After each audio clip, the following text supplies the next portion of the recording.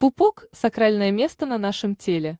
Аюрведа называет его вратами жизни, ведь именно через пупок мы были связаны с матерью до рождения. Здесь пересекаются все энергетические каналы, а в Китае считают, что именно в области пупка аккумулируются все наши переживания и нервное напряжение.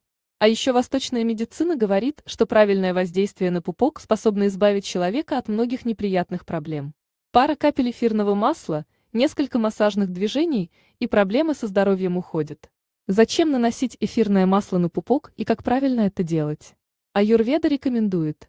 Лечение эфирными маслами. Воздействие на биологически активные точки – основа восточной медицины.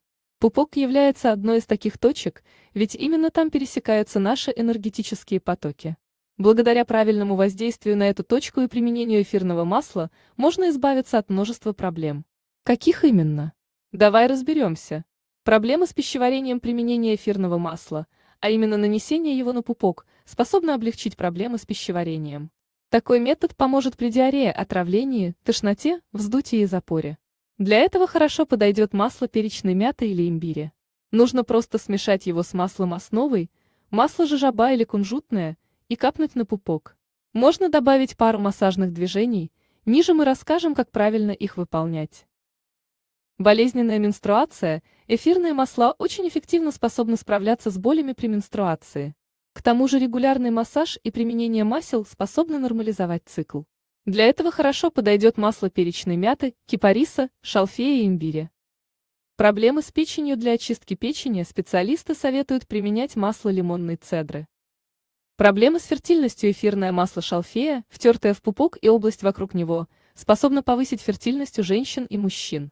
Пара капель масла и легкий массаж помогут расслабиться, запустят выработку нужных гормонов и будут способствовать удачному зачатию. Потеря энергии, так как пупок – наш энергетический центр, с его помощью можно восстановить энергетический баланс. Поможет в этом рапсовое масло. Капни небольшое количество масла на пупок и сделай легкий массаж. Регулярные процедуры восстановят твою энергию, помогут обрести вдохновение и пробудят твое творческое начало. Мы много говорили о том, что кроме использования эфирного масла, нужно еще и делать самомассаж. Пора научиться правильно его делать. Итак, ты капнул пару капель масла на пупок, теперь начинай делать массаж. Первое массажное движение называется пробивание. Надо вставить указательный палец в пупочное углубление и очень аккуратно, без лишних усилий надавить на пупок. Повтори 6 или 10 раз. Второе упражнение – расширение.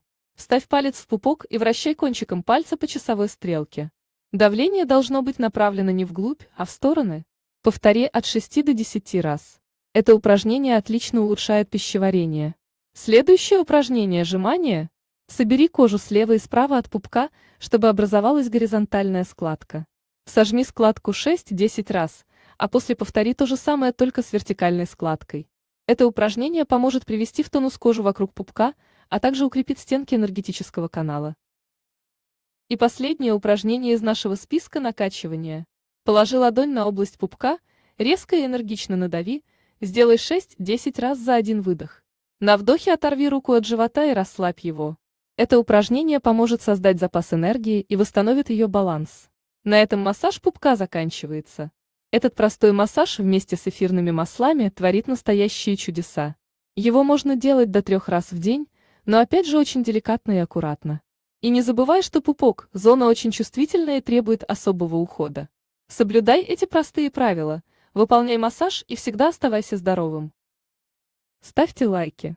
Благодарю за просмотр выпуска. С вами была Алиса Иванова.